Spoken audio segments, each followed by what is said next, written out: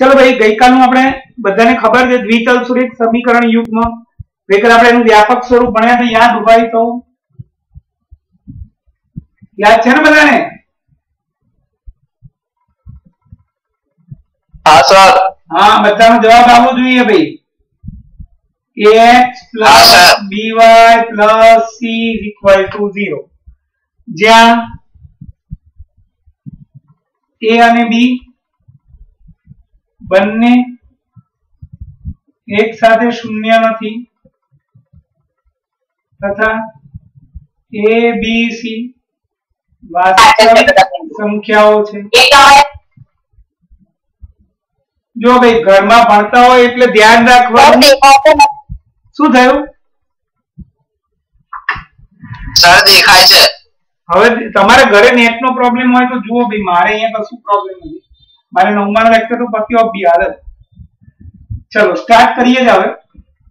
ગઈકાલનું હતું, એ ફરીથી મેં લઈ લીધું. 2x is equal to y minus 5 ત્યાં સુધી બધા આવી જાય. એટલે નવું ચાલુ કરીએ. આજનો લેક્ચર બહુ ઇમ્પોર્ટન્ટ છે. આ વ્યાપક અથવા પ્રમાણિત સ્વરૂપ.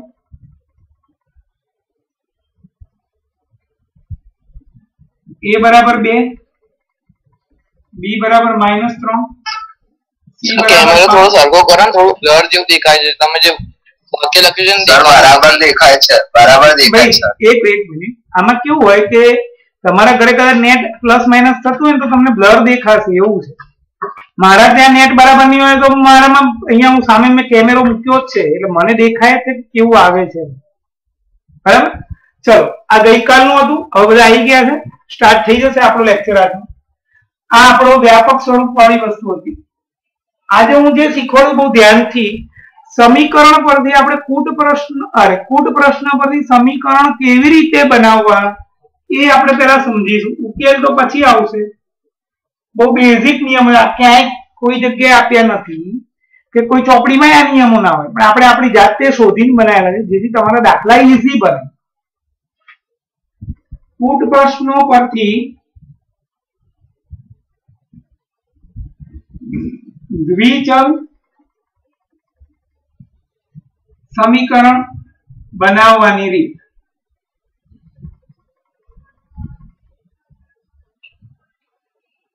કુલ પ્રશ્ન પરથી આપણે છે ને દ્વિચલ સુરેખ સમીકરણ બનાવવાનું છે. એની બે રીત છે. એક છે સરવાળો કે બાદબાકીની રીત. બીજું છે સરખામણીની રીત. શું બોલ્યો હું? સરવાળો કે બાદબાકીની રીત અને બીજું છે સરખામણીની રીત રકમમાં, વાક્યમાં થી કે કરતા શબ્દ આપ્યો હોય. તો બહુ મજા આવશે તમને. ધ્યાન રાખશે એને જ મજા આવે છે. ધ્યાન નથી રાખવાનું એમ નહીં મજા આવે. ઘરમાં પણ બેઠા હોય તો ક્લાસમાં ભણતા એવી રીતે જ ભણવાનું. એક રકમ લઉં છું અહીંયા. અહીંયા લઈ જા. વર્ગમાં અંદર વિદ્યાર્થીઓ હાજર છે. છોકરાની સંખ્યા, છોકરીઓની સંખ્યા કરતા બમણી છે.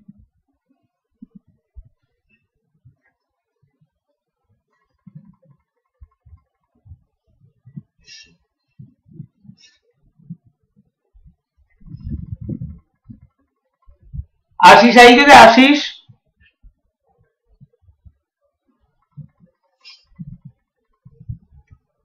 આશીષ આવ્યો છે આશીષ હા સર હા નીવ આવ્યો છે નીવ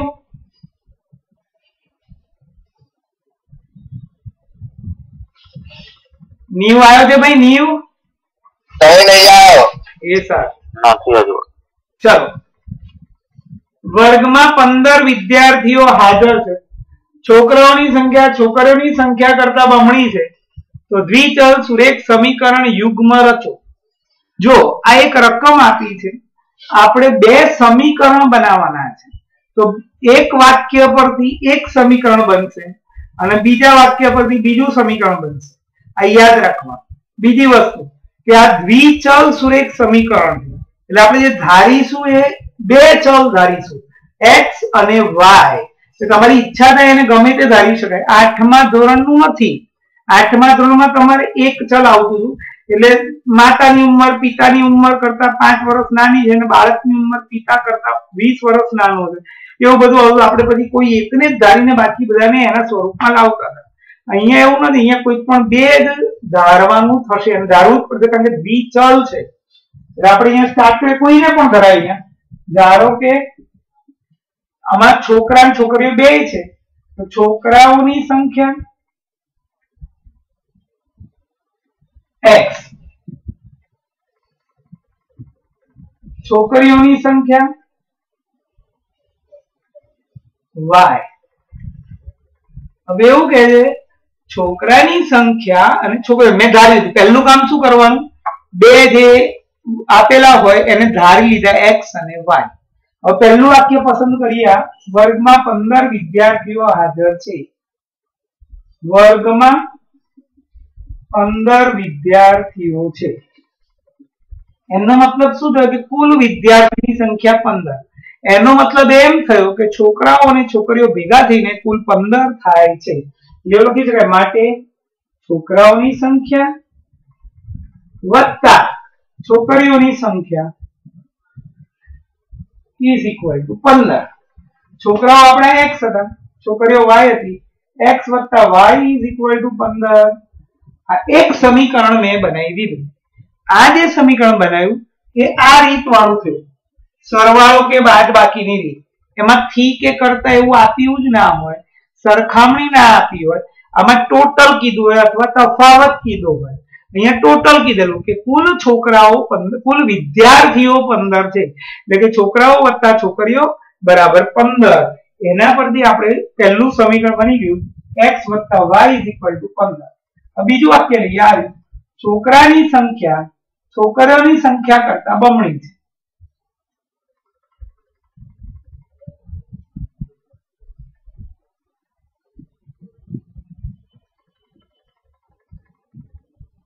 ચાલો. આમાં સરવાળો બાદબાકી આવ્યો કે સરખામણી આવી તમને વાક્ય પરથી ખબર પડી જશે કે સરખામણી છે કે નહીં. જ્યારે એક વસ્તુની બીજી વસ્તુ સાથે સરખામણી કરીએ, તો આના કરતા આટલું છે. કરતા કે થી શબ્દ આવે નોર્મલી એ સરખામણી કરી હોય એવું કહેવાય. તો અહીંયા થી કે કરતા આપેલું છે. હલો હું તમને રિંગ કરું, કાઢી દેનો ચલો. અહીંયા છોકરાની સંખ્યા છોકરાની સંખ્યા કરતા કરતા એ સરખામણી આપી છે એટલે અહીંયા આપણે સરખામણી કરવાની છે. છોકરા જે પહેલો શબ્દ હોય પહેલો, બીજો શબ્દ હોય બીજો. છોકરાની સંખ્યા, છોકરીઓની સંખ્યા. છોકરાની આપણે કેટલી ધારી હતી? એક્સ છોકરાની કઈ ધારી હતી? વાય આ બેની સરખામણી કરવાની અને સરખામણીમાં એવું કીધું છે કે છોકરાની સંખ્યા, છોકરીઓની સંખ્યા કરતા બમણી છે. તો કરતા પહેલા જે શબ્દ આવ્યો કયો શબ્દ આવ્યો છોકરીઓ. એમાં ક્રિયા કરવાની. આ ક્રિયા કરવાની. બમણી એટલે બે વડે ગુણવાનું. પણ કોને? કોને? કરતા પહેલા એ નામ આવ્યું એને, કરતા પહેલા કોણ આવ્યું છોકરીઓ આવી તો એને બે વડે ગુણવાનું. એટલે બે વડે ગુણીને વચ્ચે ઇક્વલ છે. આપણું સમીકરણ x is equal to 2y x minus 2y is equal to 0 સમીકરણ બે. બે સમીકરણ બની ગયા. ચલો ભાઈ આમાં પૂછવું છે કોઈને?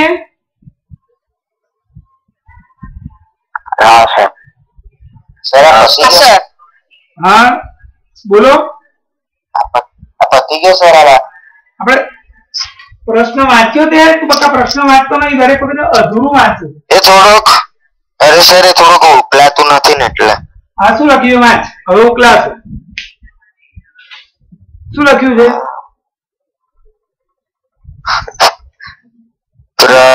દ્વિચલ સુરેખ સમીકરણ યુગ્મ સમીકરણ. રચો. એટલે ખાલી સમીકરણ જ રચવાના છે. તમને એવું નથી કીધું એટલે કે છોકરાઓની સંખ્યા કેટલી છોકરીઓની કેટલી? ઉકેલ નથી મેળવવાનો. અત્યારના લેક્ચરમાં આપણે ખાલી સમીકરણ બનાવતા શીખીએ છીએ. ખબર પડી ગઈ ભાઈ? ઓકે હા. બીજો દાખલો લઉં. ધોરણ દસ ના દસ વિદ્યાર્થીઓ પરીક્ષામાં ભાગ લે છે.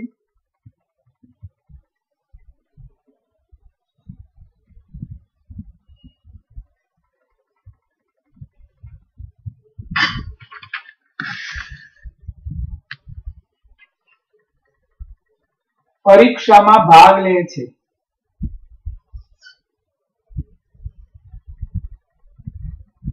છોકરીની સંખ્યા છોકરાની સંખ્યાથી ચાર વધુ છે. છોકરીની સંખ્યા છોકરાની સંખ્યાથી ચાર વધુ છે. તો દ્વિચલ સુરેખ સમીકરણ યુગ્મ રચો. આપણે ખાલી સમીકરણ જ બનાવવાના છે. આપણે જવાબ નથી લાવવાનો કે છોકરા કેટલા છોકરી. એ ચાર રીતો છે એની. એ કાલથી ભણવામાં આવશે. આજે માત્ર આપણે સમીકરણો બનાવવા કેવી રીતે? એ. એ આવડી જાય એટલે પછી કોઈ પણ રીતમાં તમે સમીકરણ તો બનાવવા જ પડશે. પછી તમને એમ કે લોકની રીતે ઉકેલ મેળવો, આદેશથી મેળવો, આલેખથી મેળવો, ચોકડી ગુણાકારથી મેળવો. પણ એ સમીકરણ બનાવતા નહીં આવડ્યા તો પછી આપણે કોઈ ઉકેલ નહીં મેળવી શકીએ. એટલે આજે આપણે માત્ર સમીકરણ બનાવતા જ શીખીએ છીએ. ચલો. પહેલું વાક્ય એવું છે, ધોરણ દસ ના દસ વિદ્યાર્થીઓ પરીક્ષામાં ભાગ લે છે. બીજું વાક્ય એવું છે, છોકરીની સંખ્યા છોકરાની સંખ્યાથી ચાર વધુ છે. ચલો, આમાં બે જણ છે. કયા બે જણ છે? એને ધારી લઈએ છોકરાઓ અને છોકરીઓ. ધારો કે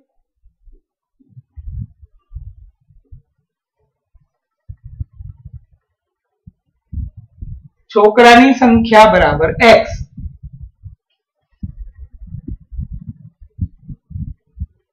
છોકરીની સંખ્યા બરાબર વાય એવું જરૂરી નથી. આ તો અત્યારે હું એવા ઉદાહરણ લઉં છું કે જેમાં એક સરવાળા બાદ બાકીનું સમીકરણ બને અને એક સરખામણીનું બને. પણ બંને સરખામણી ના હોય, બંને સરવાળા બાદ બાકી હોય. આ તો તમને સમજણ પડે એટલા માટે હું એવી રીતે લઉં છું. ચલો, છોકરાની સંખ્યા એક, છોકરાની સંખ્યા વાય. હવે પહેલું વાક્ય કયું હતું આપણું? ધોરણ દસ ના દસ વિદ્યાર્થી પરીક્ષામાં ભાગ લે છે. એટલે કુલ વિદ્યાર્થીઓ દસ છે. માટે છોકરાની સંખ્યા વત્તા છોકરીની સંખ્યા ઇઝ ઇક્વલ ટુ દસ. છોકરાની સંખ્યા x છોકરીની y x y સમીકરણ એક. ચલો બીજું વાક્ય. આ બીજું વાક્ય છોકરીની સંખ્યા, છોકરાની સંખ્યાથી ચાર વધુ છે. છોકરીની સંખ્યા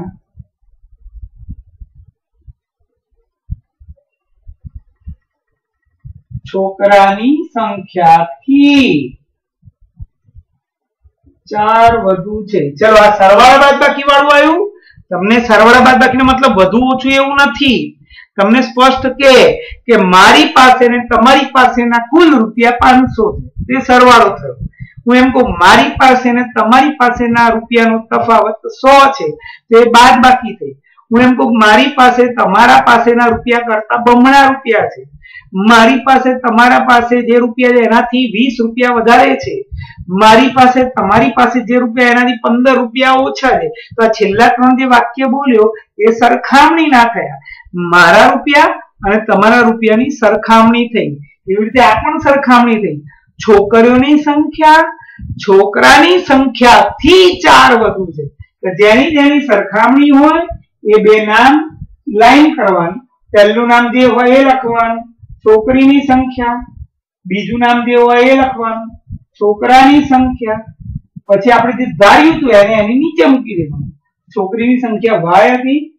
છોકરાની સંખ્યા એક્સ હતી. એવું જરૂર કે અહીંયા એક્સ જ આવે. જે પહેલું નામ હતું પહેલું લખ્યું, બીજું નામ હતું બીજું લખ્યું. જે જેને ધાર્યા હતા એ મેં એની નીચે લખ્યા. હવે થી કે કરતા શબ્દ આપ્યો જ હશે. તો થી કે કરતા શબ્દ આપ્યો હોય સરખામણીમાં, તો સરખામણી વાળું સમીકરણ થયું. તો થી કે કરતા પેલા જે આવે, શું આવ્યું? છોકરા. તો એમાં ક્રિયા કરવાની. આની પહેલા જે નામ આવ્યું અહીંયા પણ આની પહેલા કરતા પહેલા કોણ નામ આવ્યું છોકરીઓ. એમાં ક્રિયા કરી. કઈ ક્રિયા કરવાની? તો કે આ. તો આમાં આ ક્રિયા કરવાની. આ ક્રિયા એટલે ચાર વધુ છે. એટલે આપણે છોકરામાં ચાર ઉમેરવાનું. વધુ એટલે ઉમેરવાનું વચ્ચે પ્લસ આપણું સમીકરણ થયું. y is equal to x plus 4 તમે આને કે અને y ને આમ લઈ જાઓ. 0 is equal to x minus y plus 4 આ સમીકરણ 2 થયું. ચલો ભાઈ આમાં પૂછવું છે કોઈને?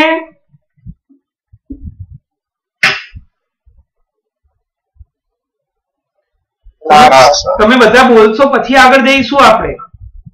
ના સર. આપણે થિયેટરમાં નથી ના, બેઠા. સર. કે પિક્ચર જોવા નથી બેઠા હું એમ પૂછું છું તમને. તમને જ્યારે પ્રશ્ન પૂછવામાં આવે ત્યારે જવાબ બોલવો જરૂરી છે. સર. હા. સર એવું જ કે થી ની થી કે કરતાની આગળ જે હોય એમાં જ ક્રિયા કરવાની. એમાં જ ક્રિયા તો એવું કરવાની. નથી સર. એમાં જ ક્રિયા કરવાની. આમાં તો એવું નથી કે છોકરીઓની સંખ્યા. હા હવે તને સમજાવું. મેં બહુ ડિટેલમાં જશો તો મોટા દાખલામાં તકલીફ પડે એટલે મેં તમને નિયમ સમજાવ્યો. હવે તું જે કે એ તને સમજાવું. છોકરીની સંખ્યા છોકરા કરતા કેટલી છે? ચાર વધારે છે? હા. છોકરી વાય છોકરા એક્સ. કોણ ચાર વધારે છે? છોકરીઓની સંખ્યા. છોકરીઓની સંખ્યા. મારે બંને સરખા કરવાના છે. વચ્ચે ઇક્વલ ટુ મૂકવાનું ઇક્વલ ટુ તો ચાર ક્યાં ઉમેરું? હા ખબર પડી ગઈ. હા હા છોકરાઓમાં. હા, હવે એ બધું બહુ બહુ પેલું વિચારવા જઈએ ને તો મોટા દાખલામાં અઘરું પડે. સીધો નિયમ જ કહી દીધો મેં તમને કે સરખામણી ક્યારે હોય, થી કે કરતા હોય ત્યારે. સરખામણીમાં શું કરવાનું? જે પહેલું નામ હોય પહેલું લખવાનું, બીજું નામ હોય બીજું લખવાનું. એને જે ધાર્યું હતું એ લખી નાખ્યું. અને થી કે કરતા પહેલા જે નામ હોય એમાં જ ક્રિયા કરવાની. આ થી પહેલા છોકરાએ છોકરા ક્રિયા કરવાની. કઈ ક્રિયા? તો કે આ ચાર વધુ છે. ચાર ઉમેર્યું વચ્ચે એક વળ્યું કામ પછી. એટલે વિચારવું ના પડે તમારે અને સાચું જ પડે. ખબર પડી ગઈ બધાને? કોઈને પૂછવું છે હજી પણ? ઓકે ચલો તો હવે હું ફોટો પાડી લઉં પછી બીજા લઈએ. સર? હા? સર આપણે ઓલો તમે નીચે લખ્યું y બરાબર x પ્લસ ચાર એવું ને એવું ના રાખે ઝીરો થી આમ સામે લઈ જવું નોર્મલી એવું છે કે આને રાખો તો વાંધો નહીં. અત્યારે સમીકરણ લખવાનું આ લખે તોય ચાલે. એ તો ભાઈ જયારે આપણે ઉકેલ શોધવાનો છે ત્યારે તમારે આવું કરવું પડશે. અત્યારે ઉકેલ શોધવા નથી આ ચાલી જાય કોઈ વાંધો નથી. હું ફોટો પાડી દઉં.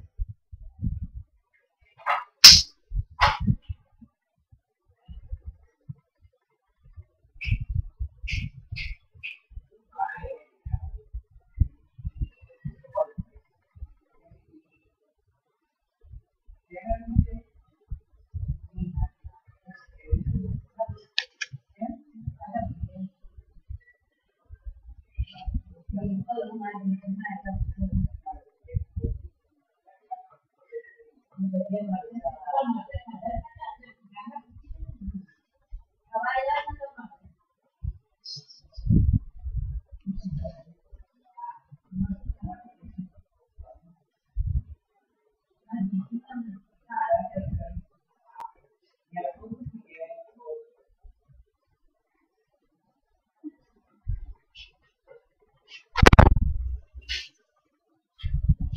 ચલો આગળ.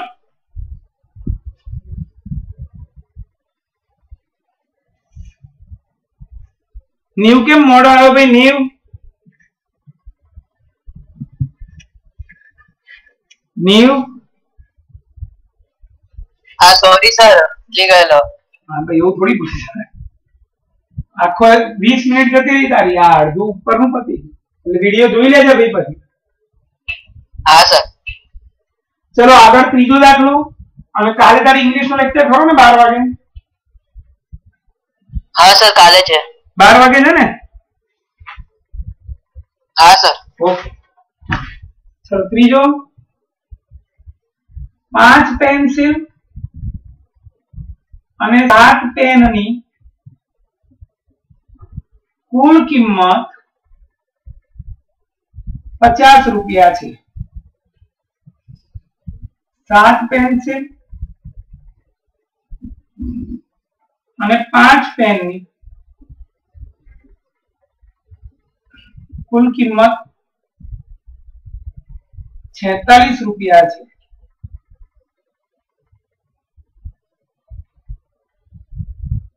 દ્વિચલ,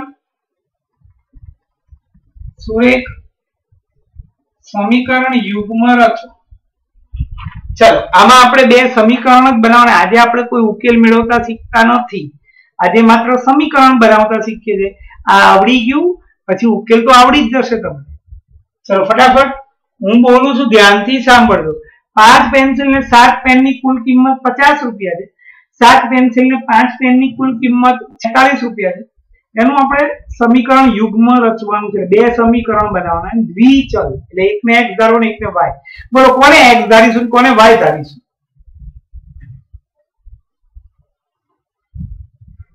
તમે જવાબ આપશો એટલે આપણે આગળ જઈએ.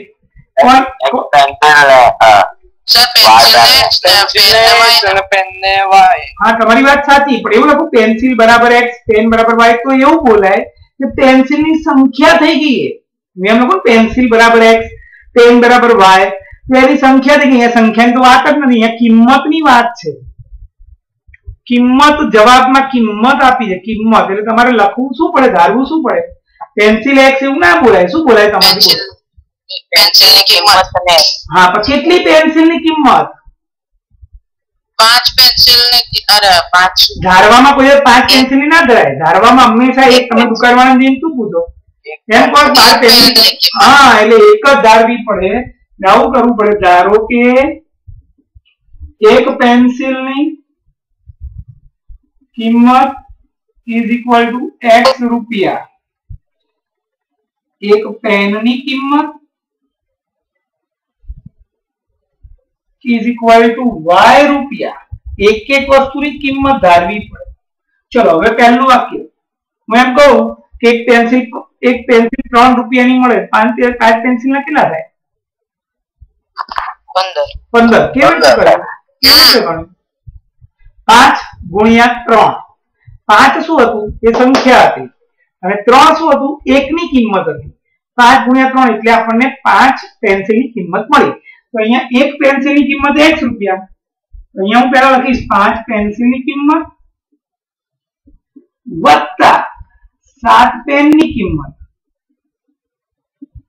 બરાબર પચાસ રૂપિયા ચલો પાંચ પેન્સિલની કિંમત એટલે પાંચ જે સંખ્યા હતી એને Five. ગુણ્યા એક પેન્સિલ ફાઈવ એક્સ હજી સાત એ સંખ્યા હતી અને પેનની એક પેનની કિંમત વાય હતી એટલે વાય પચાસ એટલે આપણું સમીકરણ આવું થઈ ગયું ફાઈવ એક્સ પ્લસ સાત વાય ઇઝ ઇક્વલ ટુ પચાસ સમીકરણ એક ચલો ફરીથી સાત પેન્સિલની કિંમત વત્તા પાંચ પેનની કિંમત છેતાલીસ ચલો સાત પેન્સિલની કિંમત સાત ગુણ્યા એક્સ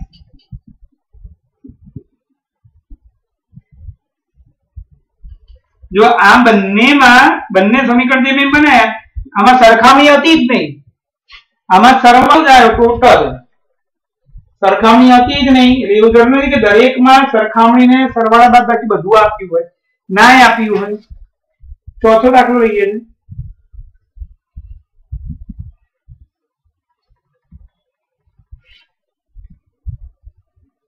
બે કિલોગ્રામ સફરજન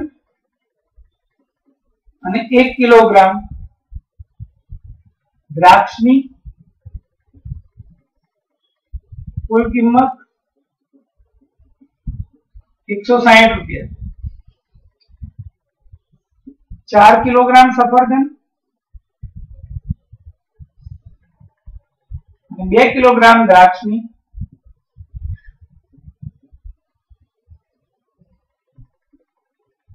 કુલ કિંમત ત્રણસો રૂપિયા છે. તો દ્વિચલ સુરેખ, સમીકરણ યુગ્મ રચો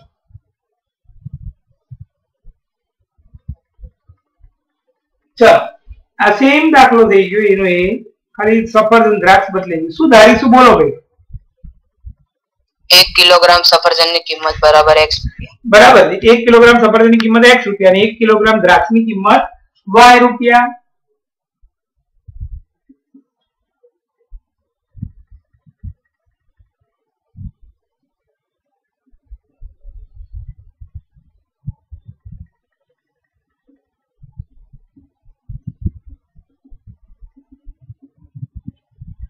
પહેલું વાક્ય લખીશું? બે કિલોગ્રામ સફરજનની કિંમત એક કિલોગ્રામ દ્રાક્ષની કિંમત એકસો સાહીઠ રૂપિયા ચલો બે કિલોગ્રામ સફરજન એટલે બે ગુણ્યા એક્સ એક ગુણ્યા વાય ટુ એક્સ પ્લસ એક લખવાની જરૂર નથી વાય સમીકરણ એક હવે આ લઈએ ચાર કિલોગ્રામ સફરજનની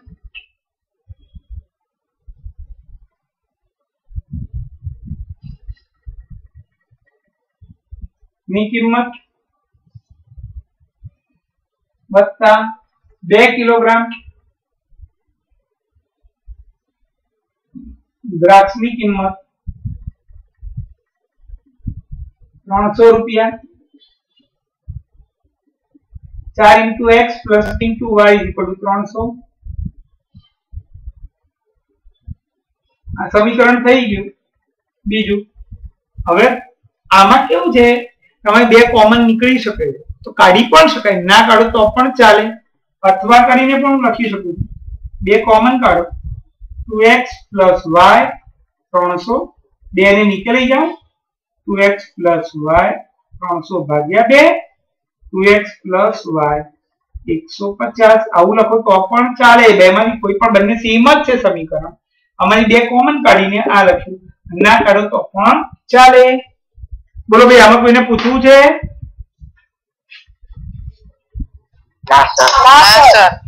ચલો તો આગળ જઈએ. ઓકે. મજાનું લઈએ. ધ્યાનથી જોજો.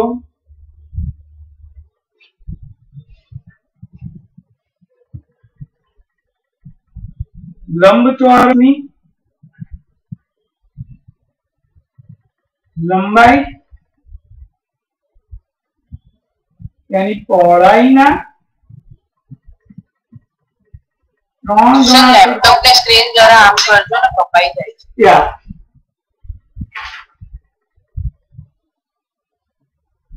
બંધ થઈ જાય તો ચાલુ કરી દેજો ભાઈ. આપણે હજી બીજા ત્રણ છે, આના પછી બે કે ત્રણ, એક ને બે. ને ત્રણ છે, હા, ત્રણ છે, એ ત્રણ કરાવવાના છે. બંધ થઈ જાય એટલે ચાલુ કરી દેજો ભાઈ.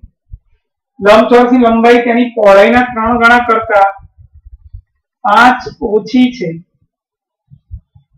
લંબચોરસની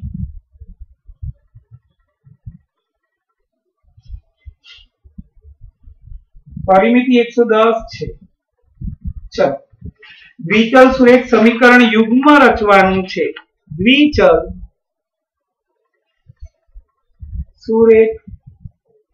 સમીકરણ યુગ્મ રચ.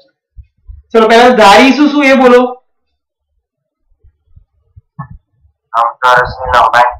બરાબર બે વસ્તુ એ લંબાઈ ને પહોળાઈ નું માપ ધારો કે લંબચોરસની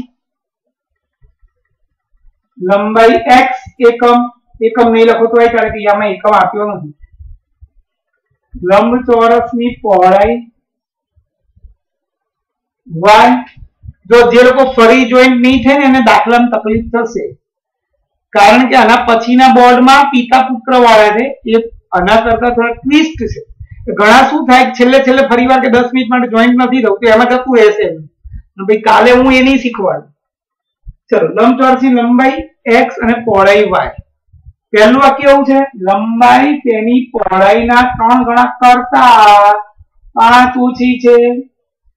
વાક્ય લખીશ. લંબાઈ તેની પહોળાઈના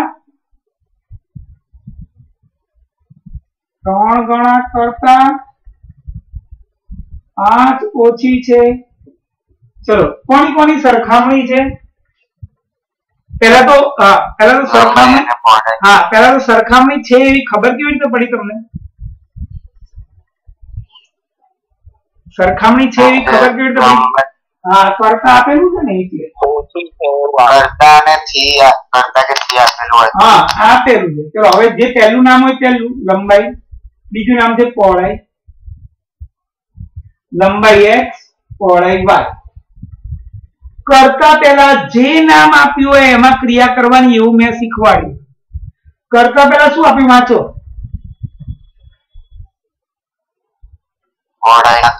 હા પોળાઈના ત્રણ એટલે પોળાઈમાં ક્રિયા નથી કરવાની. ક્રિયા શેમાં કરવાની છે? પોળાઈનું જે ત્રણ ગણું કર્યું હોય એમાં ક્રિયા કરવાની છે. એટલે પોળાઈનું પહેલા ત્રણ ગણું કરવું પડશે મારે. પછી હવે જુઓ કરતા પહેલા કોણ છે? પહોળાઈ. એના ત્રણ ગણામાં પાંચ ઓછા કરવાના છે. માઇનસ પાંચ. વચ્ચે ઇક્વલ ટુ તમે આવું લખી નાખો તો ખોટું.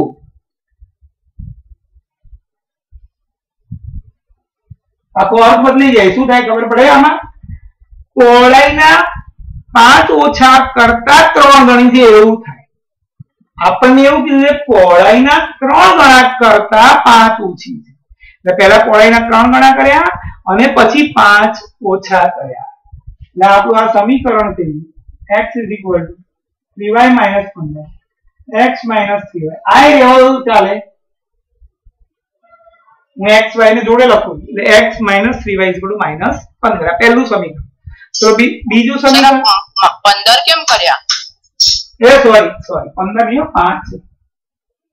હું પેલું વાંચવામાં એ પાંચ વડે ગુણી નાખું. પાંચ છે ભાઈ. પંદરની સાચી વાત. છે ચલો ભાઈ. હવે બીજું સમીકરણ લંબચોરસની પરિમિતિ એકસો દસ છે, એના પરથી. લંબચોરસની પરિમિતિ એકસો દસ. પરિમિતિ એકસો દસ, પરિમિતિનું સૂત્ર યાદ છે, બે કૌંસમાં લંબાઈ વત્તા સોરી પહોળાઈ ઇઝ એકસો દસ. લંબાઈ પહોળાઈ આપ- આપણે લખેલા છે એક્સ અને વાય આ સૂત્ર એ પરિમિતિનું લંબાઈ પહોળાઈ લંબાઈ પહોળાઈ ચારે બાજુનો સરવાળો. બે વાર લંબાઈ વત્તા બે વાર પહોળાઈ બે કોમન કાઢી બે કૌંસમાં લંબાઈ વત્તા પહોળાઈ ઇક્વલ ટુ એકસો દસ બે ને નીચે ઉડાડ દો.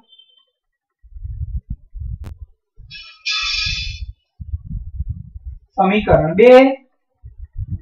ખબર પડી કે ભાઈ બધાને કે ના ખબર પડી? પડી ગઈ. સો ટકા બધાને. ચલો હું ફોટો પાડી લઈએ. અને બંધ થઈ જાય તો ફરી દસ મિનિટ માટે ચાલુ કરવાનું છે. બીજા બે ત્રણ છે. મસ્ત એમસી આવું. એ એ આવડશે તો કાલે મારે રીત ચાલુ થશે. એટલા માટે ખાસ કરવાનું જ છે. બંધ થઈ જાય તો બધા ફરી જોઈન થજો. ફોટો પાડી લઉં.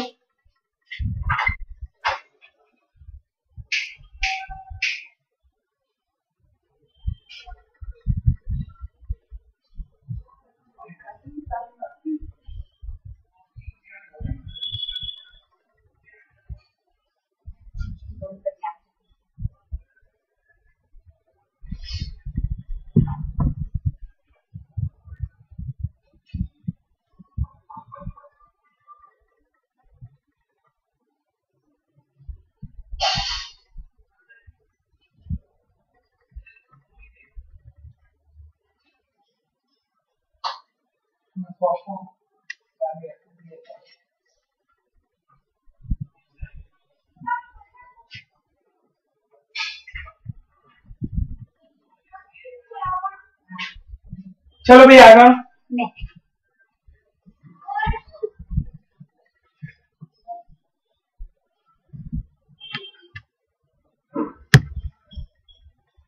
ચલો ભાઈ બધાને ખબર પડે ને ભૂસી નાખું છું હા સર હા ફરી જોઈન થઈ જજો દસ મિનિટ માટે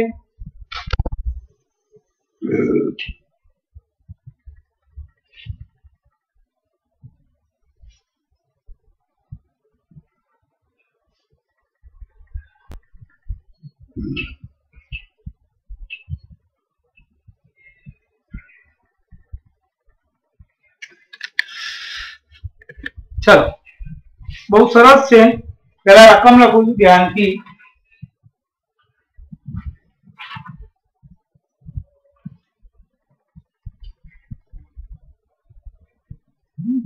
ત્રણ ને ત્રણ છ થયા ખબર નથી કેટલા માં પિતા પુત્ર ને કહે છે,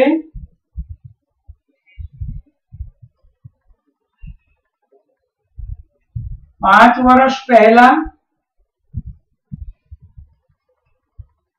મારી ઉંમર? તારી ઉંમર કરતા સાત ગણી હતી. પાંચ વર્ષ પછી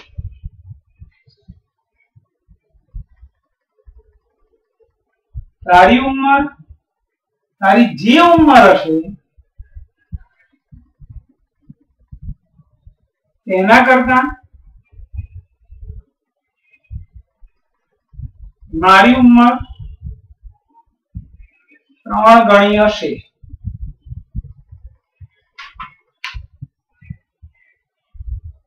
વિચલ સુરેખ, સમીકરણ યુગમાં રચો. ચલો. કોને ધારીશું? બોલો ભાઈ, પહેલું કામ ધારી લેવાનું. હા, એવું ના ધરે પિતા એક્સ ને પુત્ર વાય. હંમેશા પિતા પુત્ર હોય, ગમે તે ઉંમર વાળા દાખલામાં હાલની ઉંમર ધારવાની. સ્પેસિફાય લખવું પડે કે ધારો કે પિતાની હાલની ઉંમર એક્સ વર્ષ, પુત્રની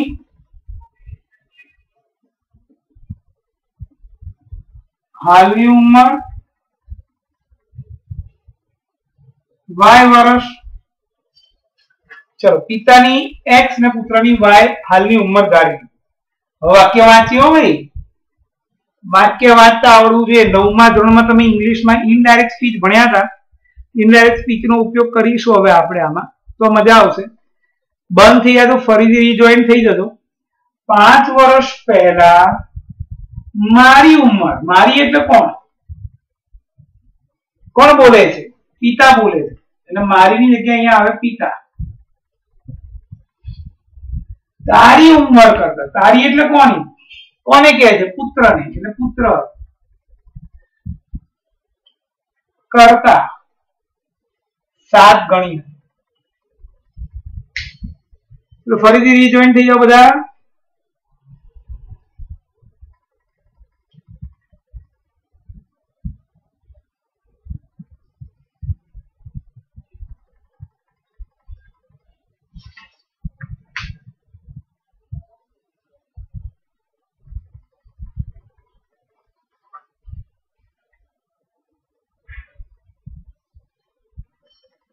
બધા રીજોઈન થાય છે ફરીથી.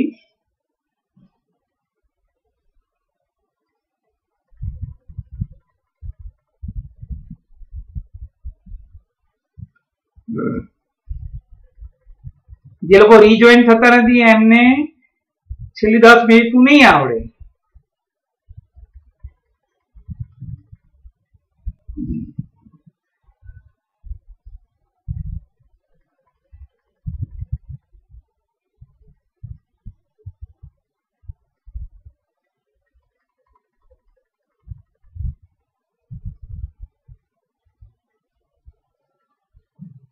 ચલો.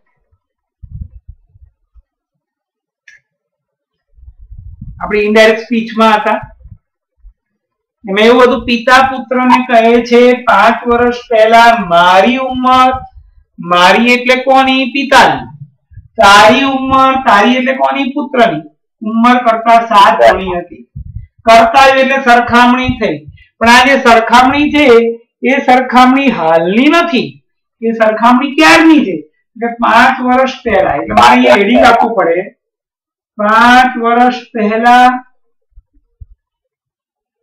ચલો. મારી ઉંમર તારી ઉંમર કરતા એટલે મારી ને તારી સરખામણી. મારી એટલે પિતાની એટલે પહેલો શબ્દ પિતા એટલે પિતાની ઉંમર. બીજો શબ્દ એ પુત્ર પુત્રની ઉંમર. જે આપણે ધારી હતું એ લખી નાખીએ. પિતાની ઉંમર કઈ ધારી હતી આપણે? હાલની ધારી હતી એક્સ પુત્રની પણ હાલની વાય ધારી હતી. હવે આપણે પાંચ વર્ષ પહેલા એવું કીધું છે. પાંચ વર્ષ પહેલા કીધું એટલે આ તો હાલની ઉંમર હતી. સરખામણી બંનેની પાંચ વર્ષ પહેલાની છે. એટલે મારે બંનેમાંથી પાંચ પાંચ ઓછા કરવા પડે. હાલ મારી ઉંમર ચાલીસ વર્ષ હોય. પાંચ વર્ષ પહેલા કેટલી હતી? તો કે ચાલીસની પાંચ બાદ કરો એટલી એટલે પાંત્રીસ. અને કોઈ એમ પાંચ વર્ષ પછી કેટલી થશે? તો કે ચાલીસમાં પાંચ ઉંમર. એટલે પિસ્તાલીસ. હાલની ઉંમરમાંથી પાંચ બાદ કર્યા. પાંચ વર્ષ પહેલાની ઉંમર હતી એટલે અહીંયા પાંચ વર્ષ પહેલાની ઉંમરની સરખામણી હતી, એટલે મેં બંનેમાંથી પાંચ પાંચ બાદ કર્યા. હવે વાક્ય વાંચો. કરતા પહેલા કોણ છે? પુત્ર. કરતા પહેલા પુત્ર છે. તો પુત્રમાં કરવાની કઈ ક્રિયા કરવાની? સાત ગણી. એટલે પુત્રમાં સાત વડે ગુણવાનું. વચ્ચે ઇક્વલ ટુ ગુણી નાખીએ. વાય વાળો આમ સંખ્યા બીજી બાજુ?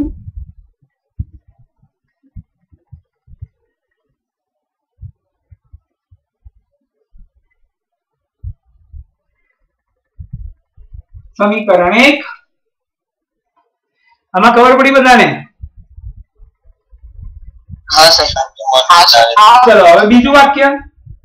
હું અહીંયા લખું છું એટલે તમને વધારે ઈઝી પડે પાંચ વર્ષ પછી તારી જે ઉંમર હશે તેના કરતા મારી ઉંમર ત્રણ ગણી હશે. ચાલો તારી એટલે કોની? પિતા બોલે છે. તારી એટલે પુત્રની. મારી મારી એટલે કોની? પિતાની. પિતાના. અને અહીંયા વાત કોની કરીએ છીએ આપણે? પાંચ વર્ષ પછી. અને આ કરતા આ સરખામણી થઈ ગઈ. પહેલા એડિંગ આપીશું. પાંચ વર્ષ પછી.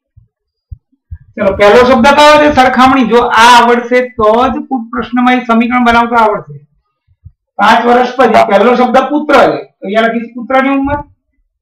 બીજો શબ્દ પિતા છે. અહીંયા પહેલા પિતા હતા. એટલે મેં પહેલા પિતા લખ્યું. પછી પુત્ર લખ્યું પછી પુત્ર લખ્યું. પાંચ વર્ષ પહેલા એટલે પાંચ પાંચ બાદ કરી. કરતા પહેલા જે હતું એમાં ક્રિયા કરી. કરતા પહેલા પુત્ર પુત્ર ક્રિયા કરી. સાત મળે સાત મળે ગુણ. અહીંયા પાંચ વર્ષ પછી સરખામણી છે. કોની પહેલા પુત્ર લખ્યું પુત્ર પછી પિતા, એ પિતા. બંનેની જે હાલની ઉંમર હતી એ લખી નાખી. પુત્રની વાય, પિતાની એક્સ હવે પાંચ વર્ષ પછીની વાત કરીએ. પાંચ વર્ષ પછી એટલે બંનેમાં પાંચ પાંચ ઉમેર દીધા કરતા પહેલા જે હોય એમાં ક્રિયા કરવાની. કોઈ મને કહેશે આમાં કરતા પહેલા કોણ છે? આ બધામાં કરતા પહેલા જે બીજો શબ્દ હતો એ હતું. ને આમાં કેવું છે? જો કરતા પહેલા કયું નામ છે? કરતા પહેલા અહીંયા જ આવ્યું આગળ. કરતા કરતાની આગળ. પુત્ર પુત્રમાં ક્રિયા કરવાની. પુત્રને ગુણવાનું. કેટલા વડે ગુણીશું? ત્રણ ગણી. ત્રણ વડે. કરતા પહેલા જે ને અહીંયા કરતા પહેલા કોણ હતું? પુત્ર હતું. અહીંયા કરતા પેલા પુત્ર. પુત્રમાં ક્રિયા કરી. કઈ ક્રિયા કરી? ત્રણ ગણી. તો ત્રણ વડે ગુણી નાખીએ. વાય પ્લસ પંદર. એક્સ પ્લસ પાંચ. અને આમ લઈ લઈએ. અને પાંચ ને આમ લઈ લઈએ. દસ is equal to x minus DY સમીકરણ બે. ચલો ખબર પડે બધાને કે ના ખબર પડી? સો ટકા સર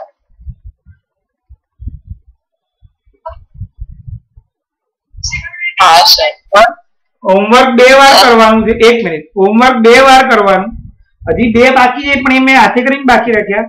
એ કાલે લેક્ચર શરૂ કરીશું. એ પહેલા આવી રીતે ફરીથી બે આવા લઈ લઈશું પછી નવી રીત ચાલુ કરીશું. હવે બોલો ભાઈ કોઈ પૂછતું હતું મને? સર આમાં જે આ જવાબ છે ને લાસ્ટમાં જે આવ્યો એને ઊંધો કરીને લખી શકાય? X માઇનસ dy ને. ડાબી બાજુ અહીંયા લખો જમણી બાજુ અહીંયા લખો કોઈ ફરક પડતો નથી. હા. ચલો ભાઈ ખબર પડી ગઈ બધાને?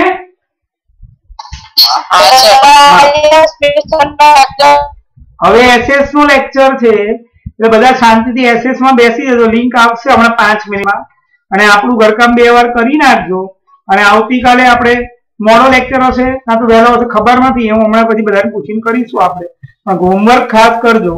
આ નહીં આવડે તો ભણાવવાની મજા નહીં આવે. અને બધાએ જવાબ આપવાના રહેશે. આવજો. બાય અને એસએસ નો લેક્ચર અત્યારે બેસી જજો.